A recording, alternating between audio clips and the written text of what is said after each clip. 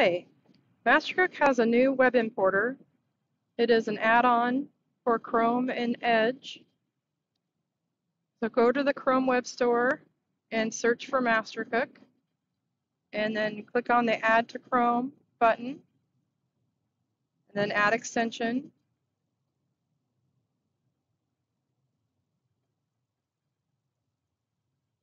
And it will download it and install it into your browser.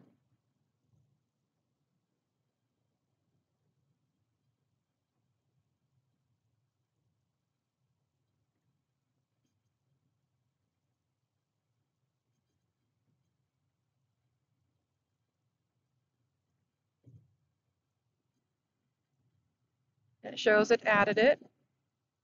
You can click on the extensions and then you can pin it so it's always available. And then view a recipe on its own website. And then click on the Mastercook extension. Sign into your account at mastercook.com.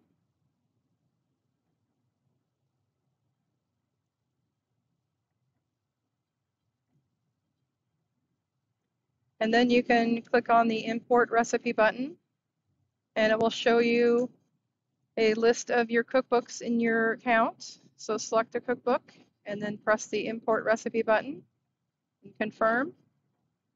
And when it is successful in importing the recipe, it'll give you a message.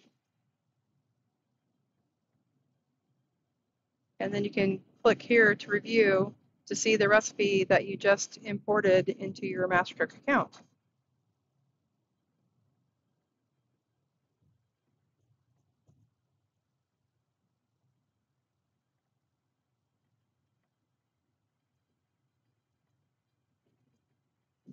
And here's the recipe.